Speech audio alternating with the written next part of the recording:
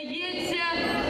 Літо не йде. Одеська облдержадміністрація та науково-експертна рада пропонують почати навчальний рік з 20 вересня. Головний мотив перенесення дня знань, а для цього потрібні зміни до законодавства, максимально скористатися туристичним потенціалом у період оксамитового сезону. Через кліматичні зміни літо 2021 пізно почалося і ще триватиме не один тиждень. За підрахунками фахівців, регіон за першу половину вересня може заробити на туристичній діяльності не одну сотню мільйонів гривень. Ідею вже підтримали керівники інших південних областей Миколаївської та Херсонської. Експертне співтовариство підкреслює, практика коригувати навчальний рік залежно від кліматичних умов застосовується і в інших країнах світу.